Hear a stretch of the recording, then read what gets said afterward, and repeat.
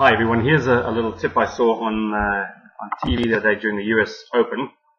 They were showing the guys practicing before the, the US Open and it was quite interesting to watch uh, Branden Grace in the background here. They've got the camera on Spieth, but if you have a look at Branden Grace in the maroon shirt, so even at the US Open, he's working on fundamentals. So if you watch his setup here, this little routine he does is designed to make sure that he's exactly the right distance away from the ball with each club. So you'll see he gets the shaft of the club pointing at his center.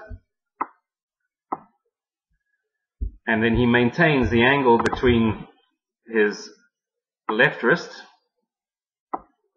and the shaft as he tilts from the hips. So that when he gets into his position, at address, his grip is still pointing at his belt buckle. And that's a fantastic little drill that every golfer can use to make sure that you don't fall into the habit of, of standing too far away from the ball or too close.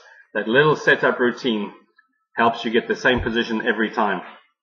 And say if the guys at the US Open are doing it, then there's no reason why why we shouldn't be controlling or checking these basic fundamentals every time we're playing or practicing. Give that a try. I hope it helps. And if you need more help, please give me a shout. Thanks.